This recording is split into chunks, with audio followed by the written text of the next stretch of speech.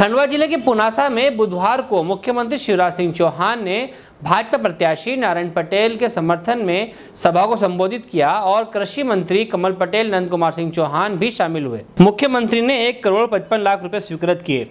शिवराज सिंह चौहान ने कमलनाथ सरकार को जमकर कोसा। वहीं मुख्यमंत्री ने कहा कि फ़सल बीमा में फिर से सर्वे कराएँगे और बीमा देंगे। किसी भी किसान को नाराज़ नहीं होने देंगे। सरकारी नौकरी में शीघ्र भर्ती होगी, स्थानीय को मिलेगी 70 प्रतिशत प्राथमिकता। मुख्यमंत्री ने सभी योजनाओं से जनता को अवगत कराया।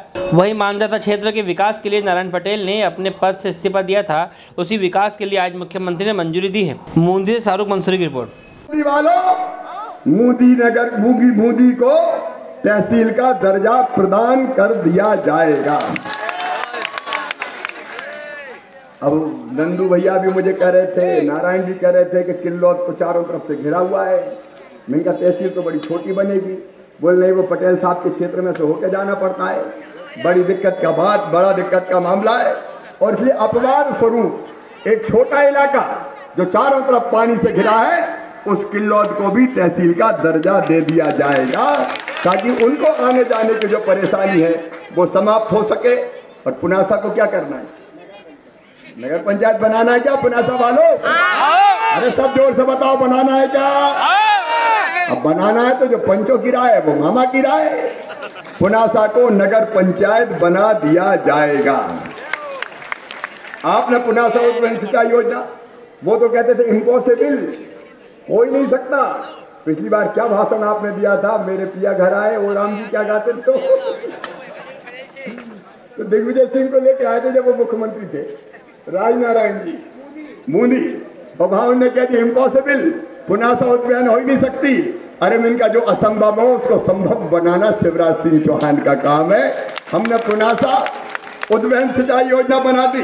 चलो चलो, ये कहे संत सिंगा जी की समाधि को पर्यटन स्थल घोषित करो। वो कहे, चलो चलो, ये कहे कि मूली को तहसील बनाओ।